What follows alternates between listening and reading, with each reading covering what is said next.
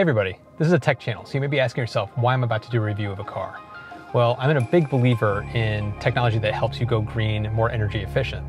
So a few years ago, I decided to buy a Ford Fusion Energi, which is a plug-in hybrid. And I'm about to talk to you about how, how it worked out and was it worth it? And how does it compare it against to a fully electric vehicle, something like a Tesla, which I'm getting a Tesla Model 3, by the way, this week.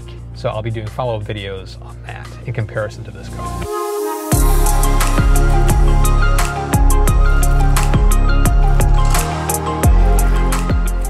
So the average American commute is about 30 miles a day. Mine was averaging about 40.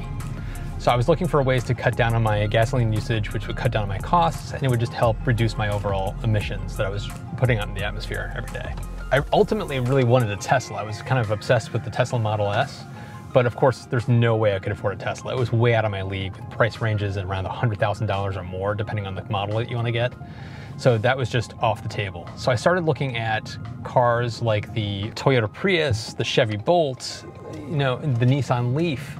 All of these are really good energy efficient cars but I hate to sound vain, and you can call me vain if you want to, but almost all those cars are just really ugly. So when I started looking around at what was available, the Ford Fusion really popped out because I really like the way the Ford Fusion looks. It looks a lot like an Aston Martin DB9, but has the benefit of costing $300,000 less. Evoking the DB9 was a great kind of selling point for me, as well as having the hybrid like a Prius, as well as a plug-in. So the Ford Fusion has a battery that is a 7.6 kilowatt hour battery, which is on a good day gets you about 20 miles of range um, after charging. So that's a pretty good range considering most, the average commute is about 30 miles a day. But the one thing I would say about that is it's 20 miles in perfect conditions. In harsh New England winters, which get very cold, uh, the battery I was seeing in the wintertime would be about half that. So I was getting maybe 10 miles on a charge. So with a range of 20 miles, that meant my commute into work was almost pure electric. And then coming home was on a hybrid mode like a Prius. So it worked out pretty well. If you want to compare that to my previous car, which was a Nissan Altima, the Nissan Altima averaged about 22.5 miles per gallon. On the Ford Fusion, on average, I was getting an equivalent of 58.5 miles per gallon. So if you take into account the cost of gasoline in Massachusetts, which is about $2.88 a gallon, and the fact I was driving on average 800, 860 miles a month, in the Nissan, that was over 38 gallons of gas I was using at a cost of about $110. In the Ford, in a month, I was using about 14.7 gallons at a cost of about $42. So, I mean, that's a 62% savings with the Ford Fusion over the Nissan Altima just from gasoline use alone, um, which equated out to about eight, over $800 in savings every year in gasoline costs. So in Massachusetts, electricity is really expensive. We're one of the most expensive states in the country. And electricity costs right now about 22 cents per kilowatt hour.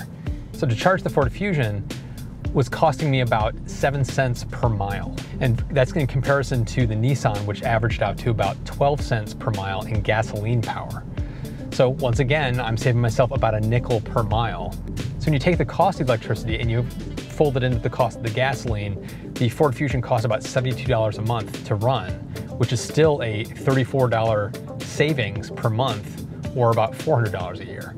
So it's not as great as just the pure gas kind of equation, but it's still a savings over driving the Nissan Altima.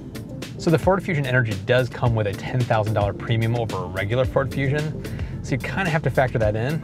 And it's going to take you a long time, quite a few years, to be able to pay that off just in your gasoline savings alone. So the one thing to keep in mind with electric vehicles is that you can't just look at it as how much gas energy you're saving. It's also in the factor in maintenance. Electric vehicles are much cheaper to maintain. There's no oil to change every three months. There's uh, far less use on your brakes because electric vehicles are using regenerative braking, which means the electric motors are what actually slowing the vehicle down, which means the brake pads are actually not getting used a whole lot. So there's a huge savings there as well. So you have to factor that in.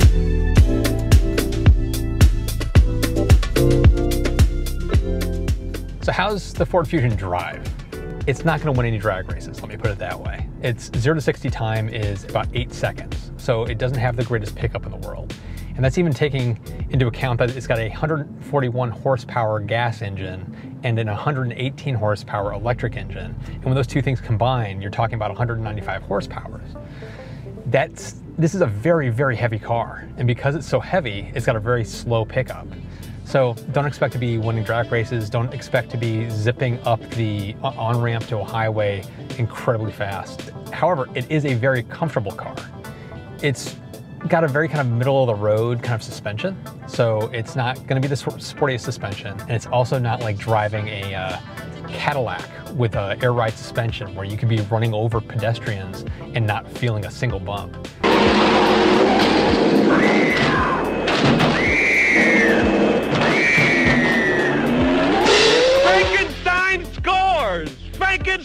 Scores at last!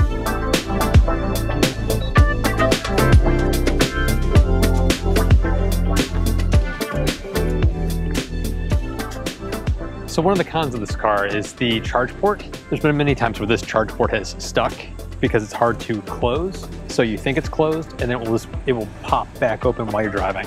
Another one of the problems is uh, trunk space. The trunk space on this car is pretty much non-existent. When you retrofit an ICE car for electric, there's only so many places you can squeeze a battery in. For the Fusion, Ford took away half the trunk to make room, which has the fun side effect of making the fold-down seats completely useless.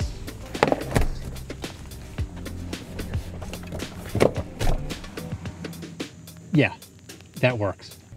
The Microsoft Entertainment System feels like it's being powered by a Commodore 64 computer in there. It may be feature rich, but it's incredibly sluggish. And the navigation system has stopped receiving updates for some reason. There was a Ford recall update for the cellular modem, which I've done, but I haven't seen any updates in over a year on the car. That means roadways aren't completely up to date, and I'm really not confident in how accurate the traffic data is.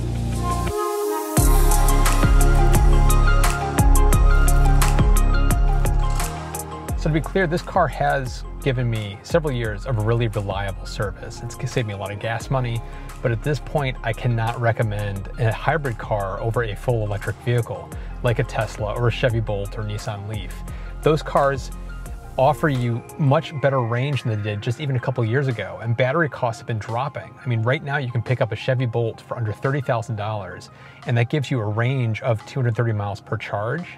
Uh, range anxiety should not be an issue anymore with that. And the cost of under $30,000 may seem like, oh, it's a little steeper than a traditional car, but when you factor in the reduced maintenance costs of an electric vehicle and the federal and state tax incentives that are available for some of these cars. In Massachusetts, there's a $2,500 rebate for electric vehicles. There's a $7,500 electric vehicle tax credit that's still available today for most manufacturers. So you're talking about almost $10,000 that you can get back off the purchase of electric vehicles. So suddenly a Chevy Bolt goes from $30,000 down to closer to $20,000 it seems like a no-brainer to go electric vehicle over hybrid or even gasoline at this point. For me, a kind of a funny part of this whole situation was six months after I bought this car, Tesla announced the Model 3. If I had known, I would have waited, but of course I didn't. So I, I had this car and then ended up putting a reservation down on a Model 3 anyway. And 887 days later, I am picking up my Model 3 and I'm, I'm beyond excited to get that car. Uh, I'll be putting videos out in the coming weeks around my experiences going fully electric and if I'm having any issues or issues with range, anxiety or charging the car, um, doing longer road trips, how it's going with that. I'll be putting out more videos, as well as potentially how I might be able to integrate my Model 3 into my home automation setup at home, because I've been doing some research and it looks like there might be some ways to do that. Uh, so more videos to come on that. So comment down below if any of you drive a hybrid or an electric vehicle, what you think about it, and which one you drive. If you don't have one, are you planning to get one, and which ones interest you? If you haven't done so already, try subscribing and hit that little notification bell so you know when new videos are posted. If you like this video, make sure to give it a thumbs up. Thanks for watching, I'll see you in the next one.